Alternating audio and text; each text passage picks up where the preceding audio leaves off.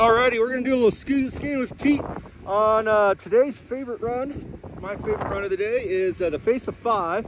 It's a black diamond, it's groomed, it's beautiful. You see the beautiful view here at the top of Five?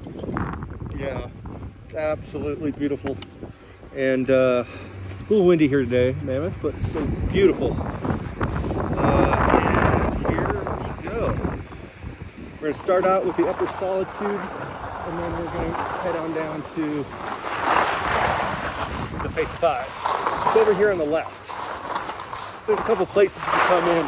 We're gonna come in straight right there, right behind that little hole there that looks like a avalanche, something or other. I don't know what they use that for. Maybe they use it for uh, grooming. It's like a grooming thing.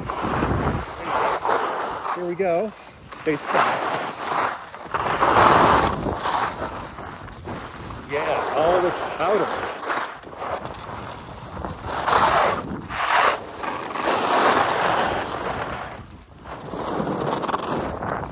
Nobody here. Beautiful.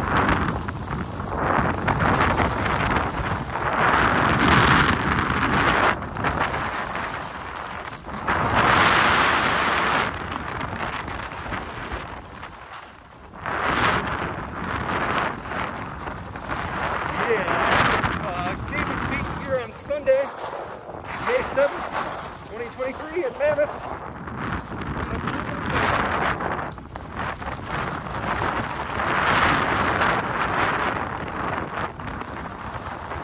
Yeah, base of five.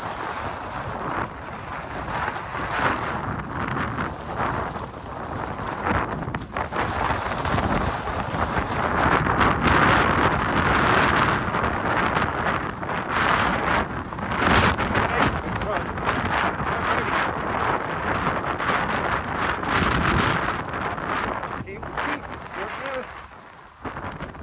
Alrighty.